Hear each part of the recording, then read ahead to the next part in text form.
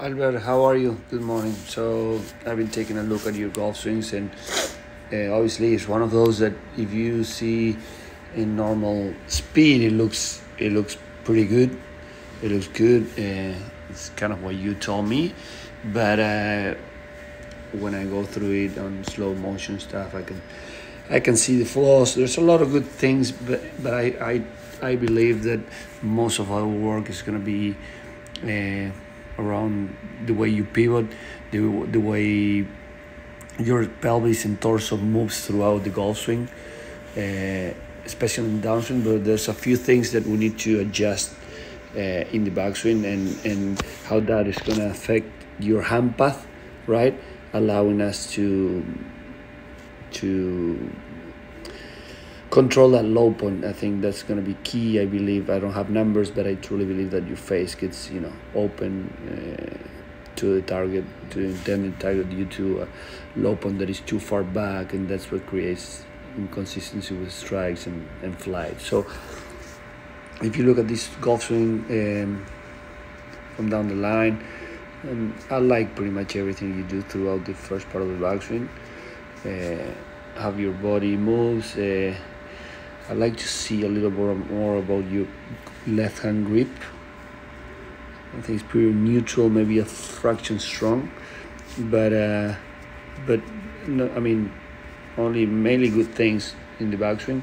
If you look at it from face on, there's something about your spine, keeping your spine too much, uh, and and it's I can see it even more with your um, with your face on driver where you keep your spine for too long and flex uh, and then obviously from there in transition when the shaft gets a little steep the first part of the backswing as you see here the hands are moving too much on a straight line the first part of the downswing mainly because your lead side right pelvis and the torso start moving up sorry they start moving up on the first part. You can see how the pelvis starts to extend and all that is going to get your hands moving down and feeling like you're stuck. That club face is going to be way behind your hands. Your torso is going to be close by six.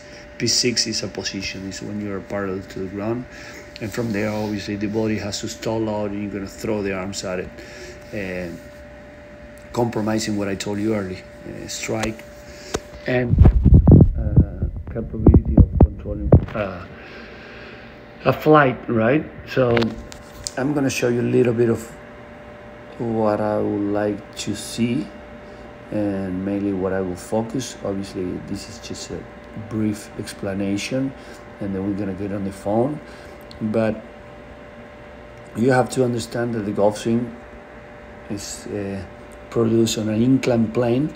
So everything, you know, throughout once the club starts moving we have to understand the 3d behind it. And when i mean the 3d i don't try to be too complicated but you gotta understand that when when the when the club starts moving your body starts turning uh, flexing extending uh, tilting okay? So there there's a lot of things that happen at the same time. It's not like you're turning and turning. Uh, there's a lot of things. And the tilts right? The inclinations i will you know I will say to me is one of the most important part of the swing, okay? Because how, how, well you incline that torso and pelvis uh, is going to allow you to generate rotation, especially throughout the downswing, and create a better transition. So when you see, when you compare with this player, you're to see similarities in the backswing, right? There's a good face control, good relationship between the hands and the sweet spot. Deep on the way back, which is great. Has enough ham there, the shoulders and torso. You could say that they're uh, have a proper inclination. Uh, length of the backswing looks very similar, maybe this one a little shorter, which I would like to increase. To me, the length of the swing is key, but that's something that is not right now. Okay and from on you can see how her lead side I mean hard to see from this side uh, the, the way the lead side moves as in down and around, is gonna allow her hands to get out that way.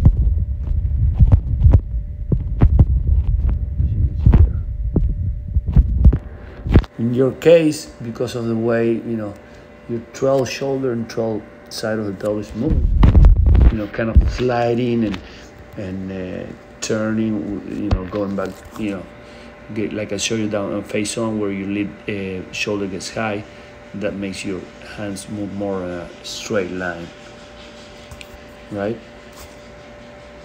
So when that happens, your body stays close, right? And you can turn.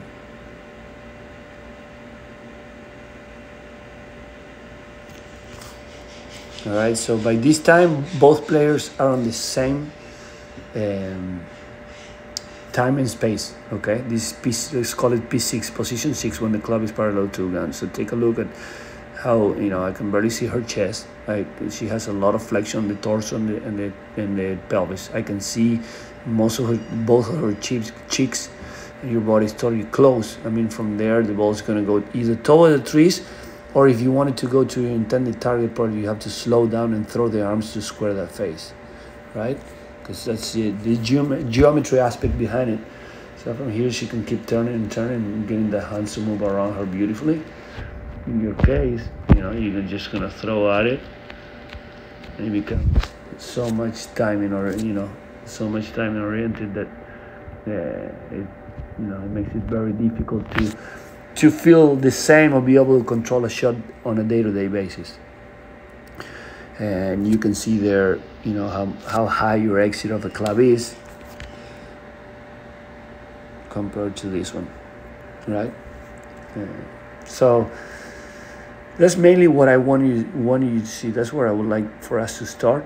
And you know there's a lot of work like I said we have to do mainly on, on pivoting. I, I truly believe you have a very good understanding or control of your, the club face alignments, you know, the relationship between your grip and the wrist angles, the way your your arms, uh, the, you know, your arm structure, you know, throughout the backswing. So uh, you get a lot of good things, which is, you know, I think there's the work has to be done mainly. Uh, focus on, on pivoting, how the, the, the pelvis and torso should move throughout the backswing and the swing. Thanks, Albert, and talk to you soon.